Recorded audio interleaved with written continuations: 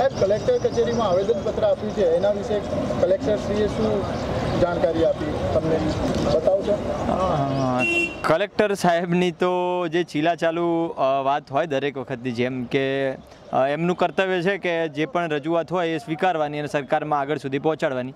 બસ એ બાહેધરી સાહેબે આપી કે અમે તમારી રજૂઆત ધ્યાને લીધી છે અને આગળ પહોંચાડીશું જેવી રીતે ચંદ્રશેખર આઝાદ યુપીમાં સહારનકાંડ થયો દલિતોના ઘર સળગાવી દીધા અને જેમાં ચંદ્રશેખર આઝાદે પોતે અવાજ ઉઠાવ્યો. એને લઈ અને યોગી સરકાર દ્વારા ચંદ્રશેખર આઝાદને ટાર્ગેટ કરી અને રાષ્ટ્રીય સુરક્ષા કાનૂન અંતર્ગત એમને જેલમાં પૂરી દેવામાં આવે છે. આ ઉપરાંત એમની ઉપર બીજા ખોટા કેસ પણ કરવામાં આવે છે અને જિગ્નેશ મેવાણી ઉપર પણ કેસ કરવામાં આવે છે. તો મુખ્ય માગણીઓ અમારી હતી કે જિગ્નેશ મેવાણી અને ચંદ્રશેખર આઝાદ ઉપરના જે ખોટા કેસ છે એ પાછા લેવામાં આવે.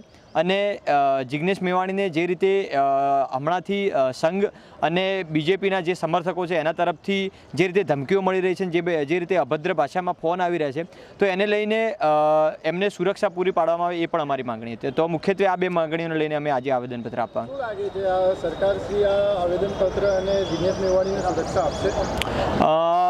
સર દરેક નાગરિકને સુરક્ષા પૂરી પાડવી એ દરેક સરકારનું કર્તવ્ય હોય છે.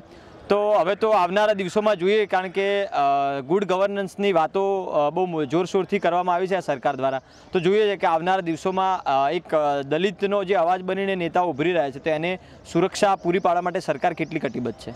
દલિતો ઉપર એટલા અત્યાચારો થાય છે દલિતોની માંગણી પૂરી થતી નથી તો એક જિગ્નેશ મેવાણી જ આગળ છે કે બધા દલિત સમાજ એમના જોડે છે?